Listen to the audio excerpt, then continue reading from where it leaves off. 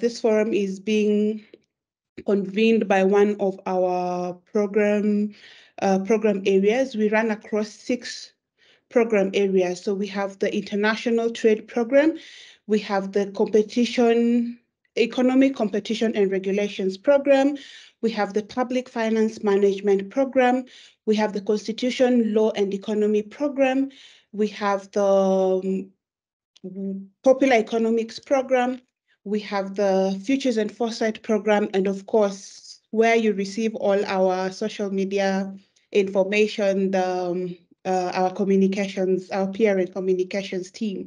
So the conveners of today's meeting are the International Trade uh, Trade Policy Program.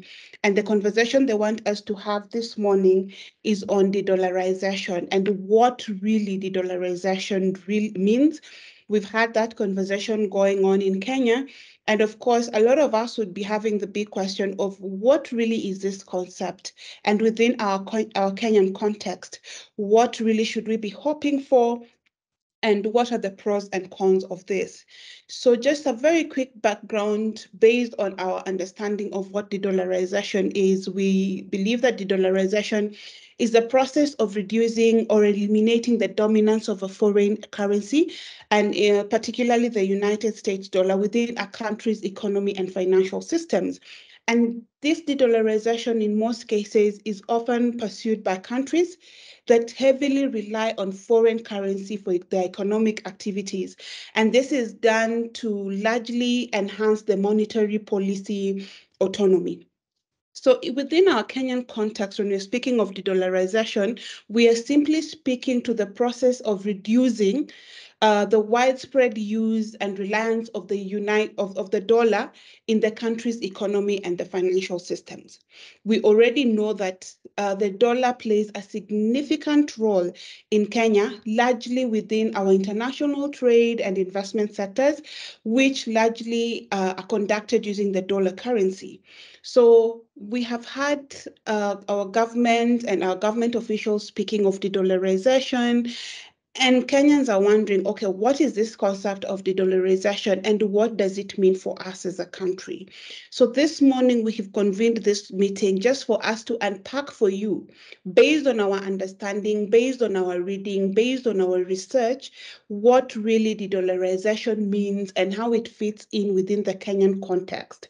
So my colleague Emmanuel will take us through a 15 to 20 minute presentation to unpack the concept of dollarization, how it is done, and of course, unpack to us as well what it implies for us as a country. What are the pros and cons as investors, as people who are interested in our trade and inter our international trade sectors, what really should we be looking out for?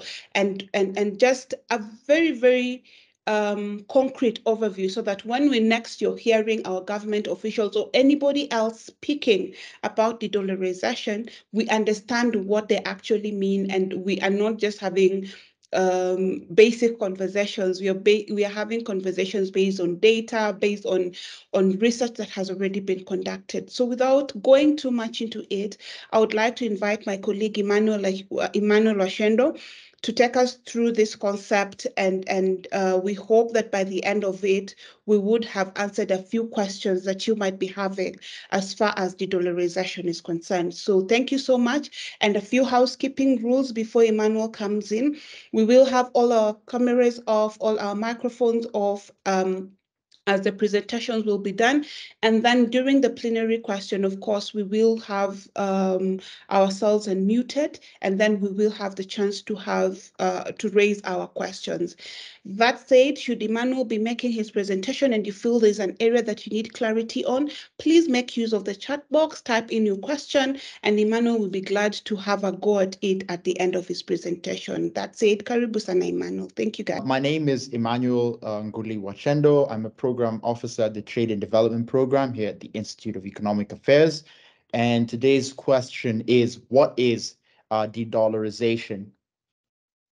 So so starting right off, you know, a few interesting uh, numbers and tidbits of information. Uh, so the number of forex bureaus in Kenya has grown from 68 in 2021 to 119 by March 7th, 2023. Uh, the CBK uh, rate, right? The exchange rate uh, that the bank is exchanging uh, uh, shillings for dollars 127, while the market rate is 139. Now, this uh, this uh, uh, difference in what the market demands for in exchange for dollars and what the central bank is is ready to exchange has been a consistent feature of the exchange rate market, particularly the dollar uh, exchange rate market for the last at least two or three years since COVID. Um, so this is in particular is a snapshot of where it is right now. Um, last year, both JP Morgan and the Kenya Association of Manufacture, uh, Manufacturers were among the organizations that that raised complaints and actually reported that they were having problems meeting their um, their dollar settlement obligations, right? Whether it was to oversee suppliers or paying uh, dividends to uh, Kenyans, right? Uh, many different firms were having problems accessing dollars here. Uh, please excuse me. I think this email here is just up there by mistake, but now, the the context within which we are talking about the dollarization um, has been uh, subject to uh, different political and social uh, socioeconomic interpretations. And so we should have in mind moving forward is to ask ourselves, what is the actual uh, economics of this particular question, right? Before we get to the the the politics, before we get to the uh, you know some of the uh, the the um, the opinions, right? The very emotionally charged opinions that different actors have about the issue. And for, I mean, to give one example, those in the in the Bitcoin camp, for example, who celebrate the fact that a for uh, a head of state is talking about de-dollarization. As we move forward, just keep it in mind today and and beyond this presentation to ask uh, ourselves and to ask those who are talking about de-dollarization to really break down what uh, it it means. So in the chart before us, we can see that the the Kenyan shilling uh, falling in in in uh, in value between the years 2022 and 2023. This is against the uh, the dollar, right? The Kenyan shilling continues to fall against the dollar. Um, and this is just one snapshot, one aspect of uh, Kenya's economic conditions uh, right now, the, the economic climate, so to speak, uh, in which talks of uh, de-dollarization have been occurring. Now, what is de-dollarization itself? Well, de-dollarization is about uh, reducing the quantum of transactions uh, uh, executed in US dollars. And this is, we, and we're usually talking about this in, in global terms. Uh, it's, it's an acknowledgement of the dominance of the US dollar in, in, in international markets, and then an expression of, of, say, either the desire to move away from the dollar or an observation that many that that um, the the total collection of of global economic actors who are executing transactions in the U.S. dollar is falling, right? So, uh, depending on who you ask, it is either something that is that is happening or something that that uh, one desires should happen. So the next question is, uh, or could be, what is the rate of the dollar of dollarization itself, or how do we understand what dollarization is? Well, let's take households, firms, and governments um, who are engaging in different transactions across borders. they could engage in these transactions using um, their own currencies. But now let's ask ourselves, the actors on the other side of the counter, what currencies do they want? And why would they want one currency and not the other? Why should trade be conducted in the dollar and not the shilling?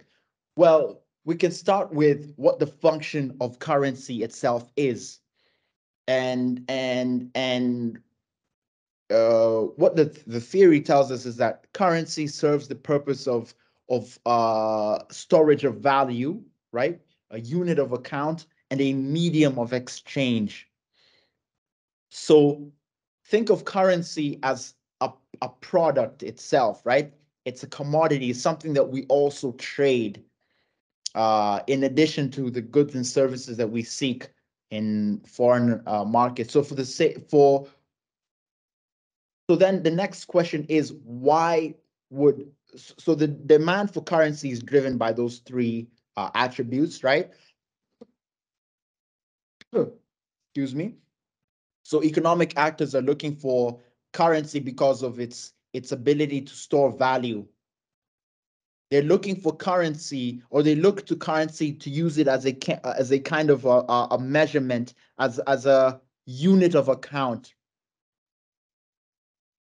they use currency as a medium of exchange, that is to facilitate the exchange of goods and services. So a household that wants to buy a, say, a, um, say an American or a European car, well, they could show up to the to um, the lot. Maybe maybe it's uh, on the coast or whatever. Somehow, they need to pay up some amount in uh, to to own the vehicle. Now, the seller of the car will choose what currency they will accept in order to exchange, uh, in order to give out the car, right? In, in order to exchange the car for the money, right? Now, the reason, so why would economic actors choose the dollar over the shilling? Well, the dollar is a very stable storage of value. So if I can somehow get my hands on the dollar, right? When I look at the Kenyan shilling, the fact that the Kenyan shilling is falling has different implications. One of them is that you hold a shilling today, you put it somewhere, and you're not sure what the value will be just a few months from now. This is not attractive to an economic actor looking to, to store his value.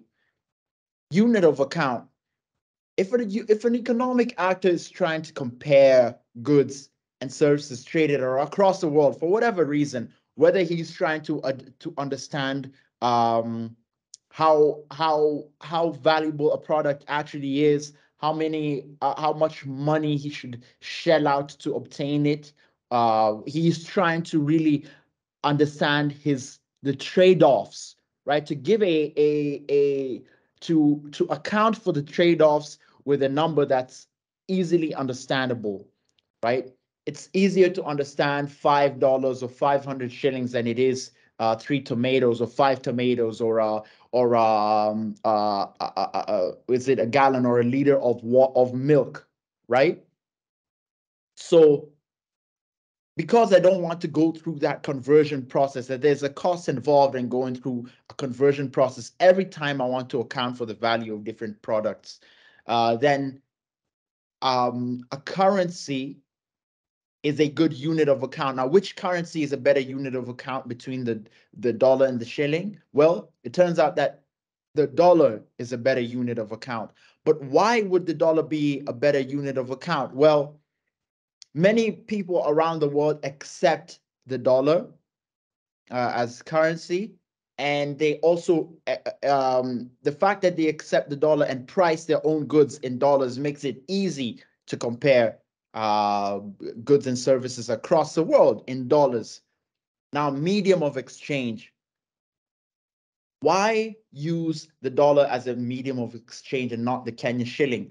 Well, let's start with the fact that the US economy is is 23 or thereabouts 23 trillion dollars uh, in size, right? This is an indicator of many things. Among them, that if I have dollars, there's a market so big somewhere in the world that that that um that I could go there and, and actually access uh, goods and services using that currency, right? Because that market is so big, it means I could find all kinds of assets uh, and and actually purchase them using uh, the dollar. And because that market is so big, I'm sure to find some asset that is desirable to me.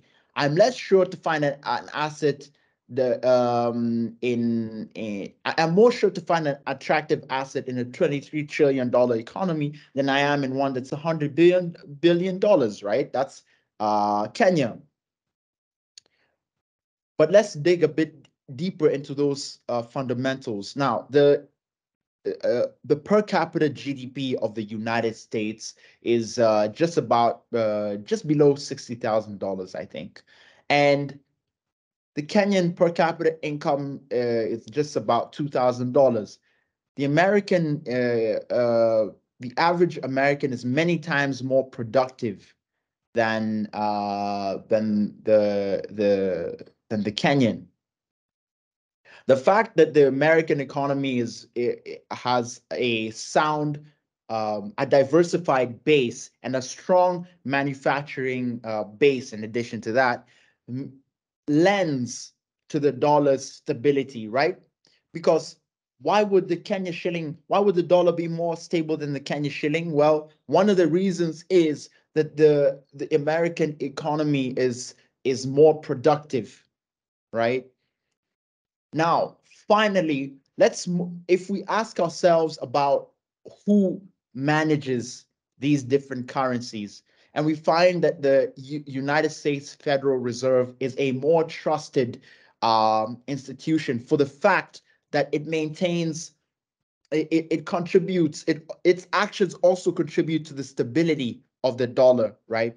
The the the very low inflation targets they have. So if let's say if we compared the the U.S. Treasury's inflation targets to to Kenya's inflation targets, right? You will find uh, that um, of course there are fundamental reasons why the the the uh, inflation targets for a country like Kenya, an agrarian country, might be a bit uh, wider, but the market trusts the US Federal Reserve's uh, monetary policy more than it trusts the Kenyan um, uh, monetary policy. But again, now if we zoom out again a little bit and just compare the Kenyan shilling to the US dollar, we will find that the factors there are multiple factors that contribute to the strength the stability of the of of the us dollars dollar. There are economic factors and there are socio-political factors. A stable a politically stable country uh, will also have a um, uh, more stable currency. Let's take another example to just drive home the point of stability if I hold US treasuries, I'm sure that I will still own them in the next 30, 40, 50 years. I'm not so sure when it, it, about the same fact if I, you know, um, when it comes to say the treasuries of a more autocratic country, a less free country. Now, dollarization itself and how we measure dollar dollarization, right? right? The the uh, dollarization can be measured in different ways. We could try and account for the portion of transactions that firms um, conduct in in dollars. We could try to account for the portion of transactions that uh, states conduct in dollars, and we could also do the same for households here before us, we have a statistic collected by the International Monetary Fund. It, uh, it is the currency composition of official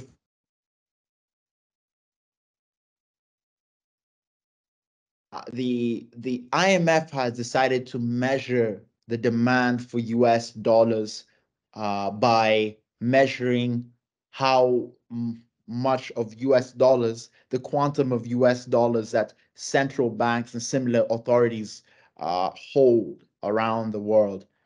And they have found, right over the years, collecting the statistic that in 1999, 70% of global foreign exchange reserves were held, held by central banks were held in, in US dollars, right? The US dollar share of foreign exchange reserves was 70%. By the year 2020, this had actually fallen to a, I think it's it's it's a 25 year low, right? So by this measure, de-dollarization is happening.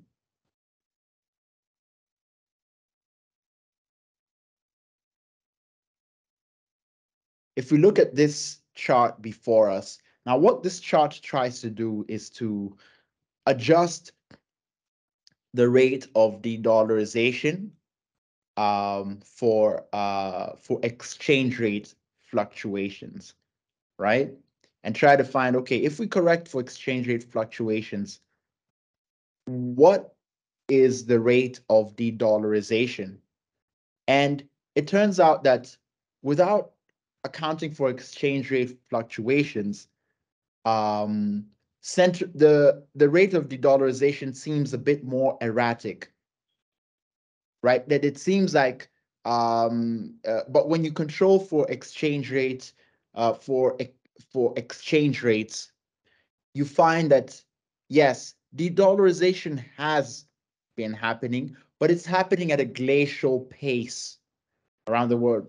That's de-dollarization in the realm of uh, the share of uh, the US dollar share of global uh, reserves. This chart we have before us shows us uh, the US Fed funds rate and over time, so we can see different rate cycles since the year 1992. And what, what this chart shows is that the US Fed funds uh, hike, rate hike that began in November 2021 that has accumulated to about, is it 425, what they call 425 basis points. But what if we just look at the chart before us, what we can see is that the climb uh, between November and where we are presently is especially steep and that we can see that there hasn't been as steep a climb uh, or, or as steep a rate hike um, in the last uh, almost 30 years. What does this actually mean though? Well, the US Federal Reserve has been has has um, raised interest rates in anticipation uh, in in in as a signal of its own concern about the rate of inflation in the United States, right?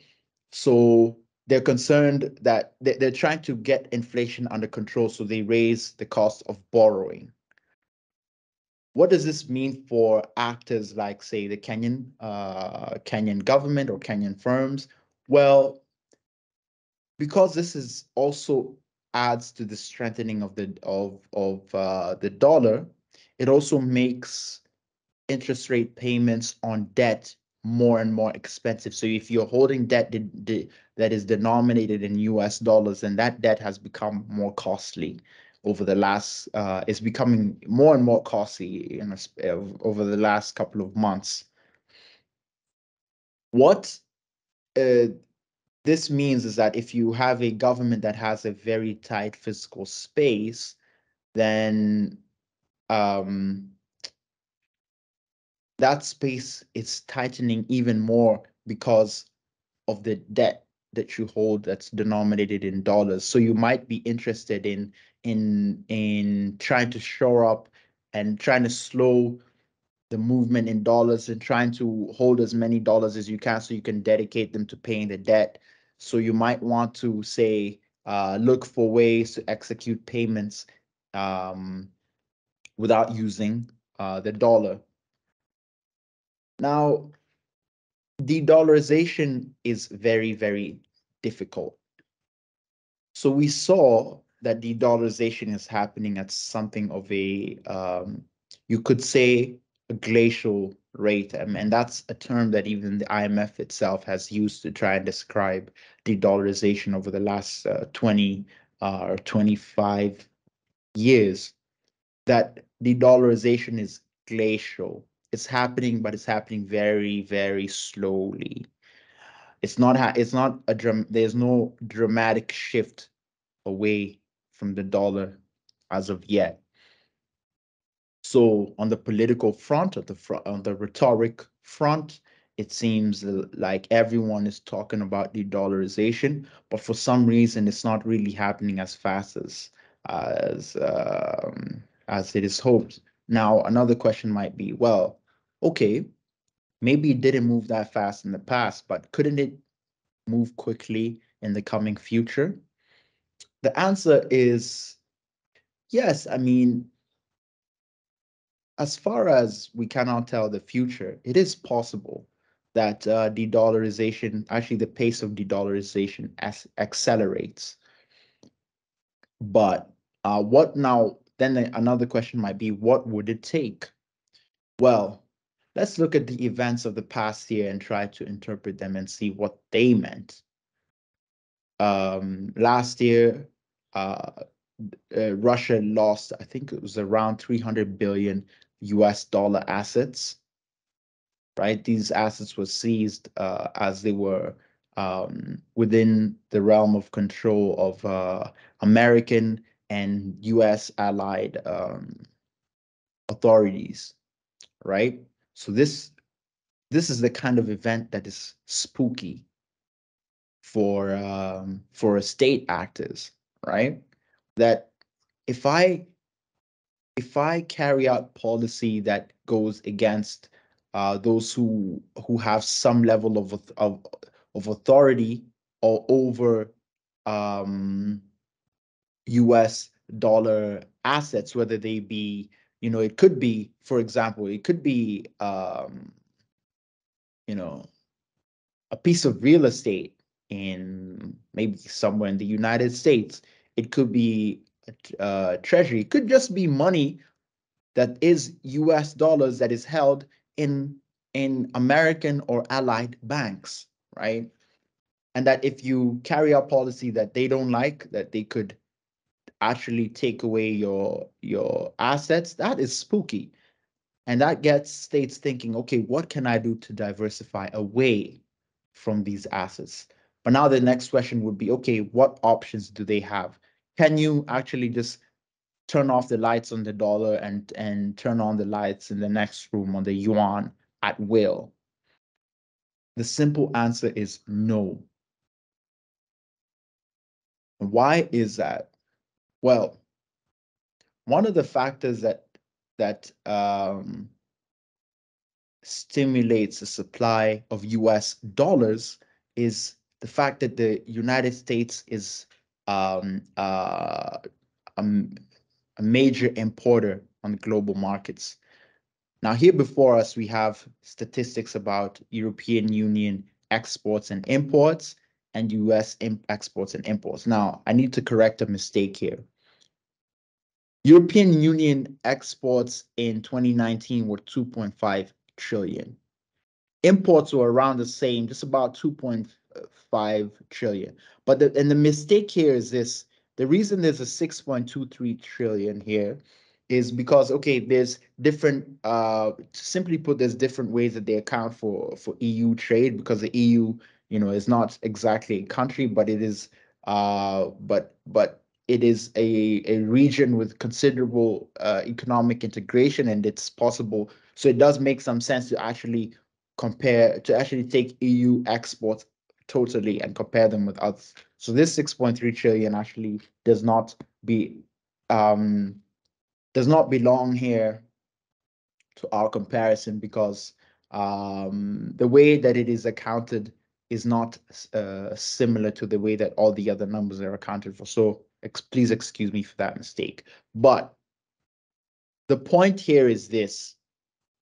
The US, the fact that the US is, is a major, is a net importer against the world means that the, the US dollar actually flows outward, outside US uh, borders. So that's one of the fact factors that that uh, that causes or induces such a huge supply of US dollars in the global market. Right, the fact that that the U European Union is a region that is a, such a strong exporter, uh, so exporter actually works against the possibility of the uh, the of the euro taking the US dollar's place. And it's one, one of the most important factors that, uh, that accounts for the reason why it's not as easy to move to the euro uh, away from the dollar, right? And now, what, what exactly does that mean? How does that make sense? Well, because we buy European goods with European currency, right? European currencies and that and the fact that the European Union is exporting more than it's importing, um, then that means that on on balance, euros flow flow more towards the European Union, broadly speaking. What if you add China to the mix? adding China to the mix also adds another problem.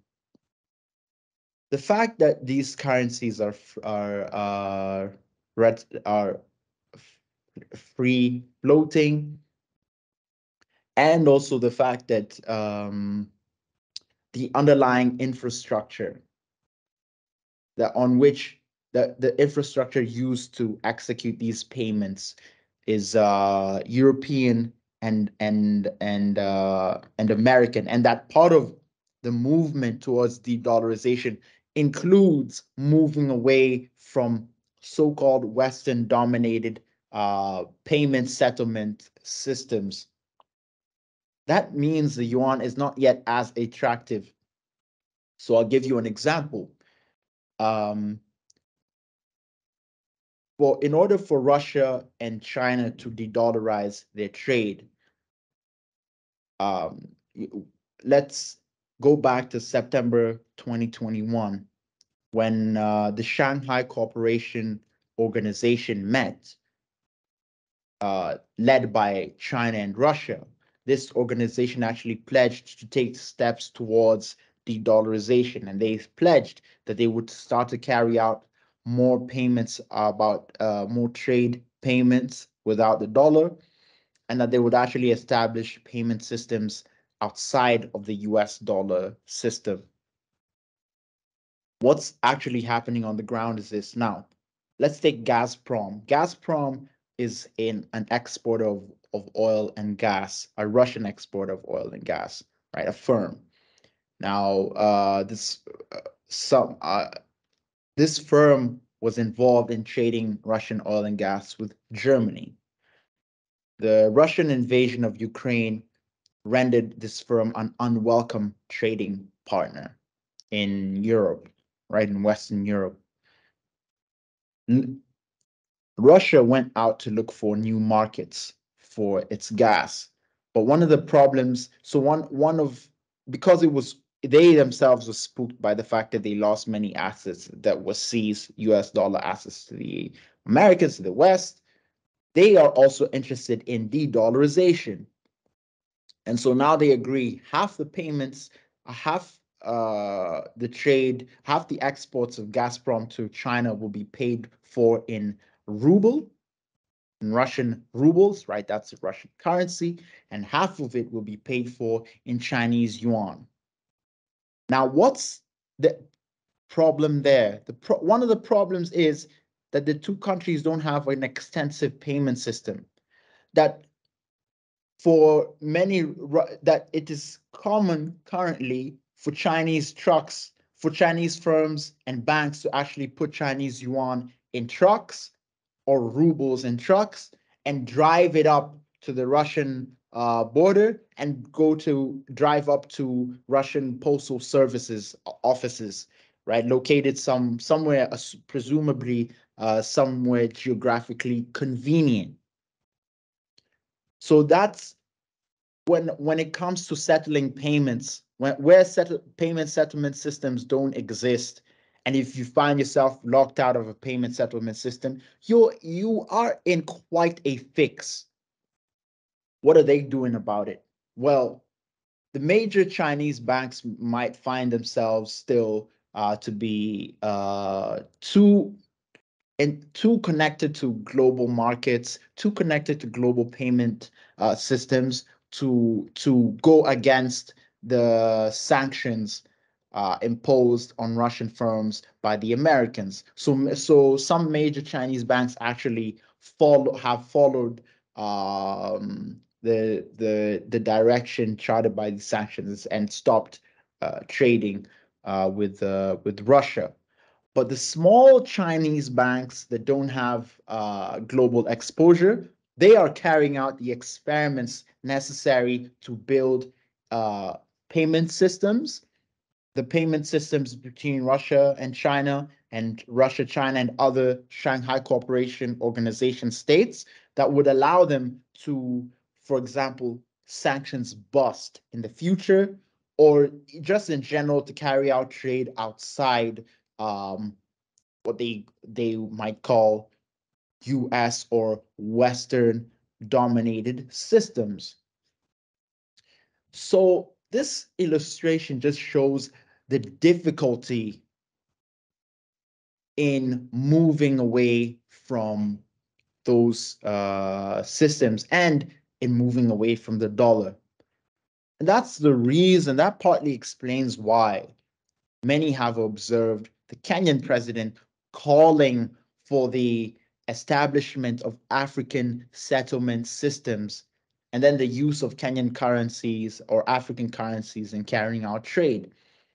We've seen the same from Brazil's uh, President Lula, who now Brazil and China, the trade between the two countries is just about 150 billion dollars worth. And he too is calling for de-dollarization de-dollarization has grown to have uh, very, very strong political connotations. And the connotations that include the the imaginings that somewhere in deep in the US Federal Reserve, there are people scheming and plotting, twiddling their fingers, and thinking about how to extend US dollar dominance and basically bear a, uh, an, an, an unwanted weight on economic actors around the world.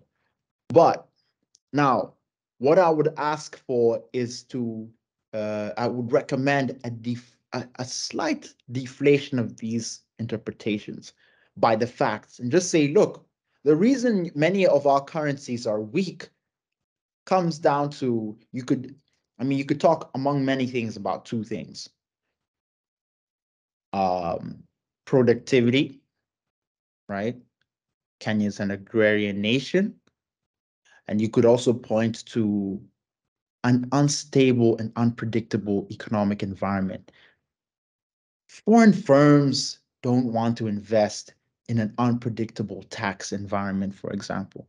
An environment where the tax codes change on an annual basis, where the government budget is unpredictable, uh, and and always always seems to consistently grow, where the fiscal space on the on the state is tightening, where the political tensions are, are affect trade, affect even domestic economic activity. All these things weaken a currency and have a negative effect on on productivity. Now you add to that that a trader in securities, for example, is not so sure what would happen to his uh, Chinese state securities in the next 40, 50 years. These are facts that are demonstrated by trends in market demand. There's a reason the market doesn't demand so many shillings. As soon as the Dutch have bought enough flowers, their thirst for Kenya shillings probably ends, right? How many more flowers can Kenya export? We can't, we're not growing any more land. How many more, um, you know, tourism, another important foreign exchange earner. In closing, de-dollarization by many me measures is happening at a slow, a glacial pace. Yes, it is happening. It's happening for different reasons. Some of them are political. Uh, some of them are just the, the fact that countries are borrowing in, in currency other than the dollar. But on the whole, we can see, even just looking at this chart, for example, the next most important global foreign exchange reserve, the euro, is still eclipsed by the dollar. So I'll close the webinar there and uh, open the floor for uh, questions. Thank you, Mani, for the presentation and just for taking us through the whole concept of mod of of uh, de-dollarization and giving us um, sort of case studies just to help us understand what uh, de-dollarization really would entail, and also just to give us in context and contextualizing the reality by giving us those case studies and giving us examples of conversations that have taken place and where they have led as far as de-dollarization is concerned. So that said, I hope our audience are in a better place now to um, digest the whole concept of de-dollarization and just basically understand what it means, bringing in our Kenyan context, having or seeing that we are currently having conversations around de-dollarization. Is it a good thing? Is it a bad thing? Based on our presentation, I think as individuals, we can now make a decision, even if the government is pushing for it, if we hear politicians speaking about de-dollarization, we're in a better position to make a decision on whether or not it is a good thing for our country and if as a country we are actually ready to walk that journey of de-dollarization. So thank you so much, Mani, for that, uh, um, sorry, Emmanuel, for that presentation. And so uh, we will quickly go into plenary.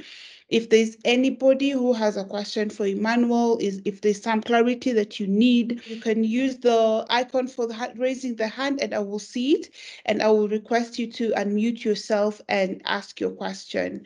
That said, we already have a question on the chat box, which I will read out as we prepare for the others. So Emmanuel, we have Maingi who is asking, or he appreciates um, the presentation.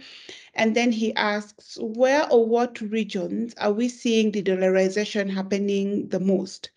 Also, the glacial transformation, what rate are we talking about? Is this something we envision happening in our lifetime? So, um, uh, so Emmanuel could respond to that as we wait for any other question. It's already in the chat box. So Mani, up over to you. China is actually the most important proponent of de-dollarization, not even before we speak about like rhetorically, just in terms of um, their own market uh, movement. So I think as of this quarter, they are holding the smallest uh, quantum of US treasuries that they've ever held.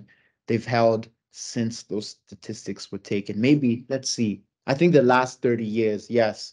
Uh, I think amounting to 849 billion in US treasuries. This is, sorry, this not a 25 year low, it's a 12 year low. Because of its economic heft, it's going to be the most important economic actor in the subject of de dollarization. Now, what about trade? Well, they lead the Shanghai Cooperation uh, Organization. It even has uh, the name of one of their cities on the moniker. And this organization is actually is a proponent of de-dollarized trade. We also have Indonesian um, finance ministers in the in the finance financial uh, apparatus of uh, the Indonesian state also calling for de-dollarization and that they're among a chorus of Asian countries talking about or asking themselves why they can't conduct more trade outside of the dollar.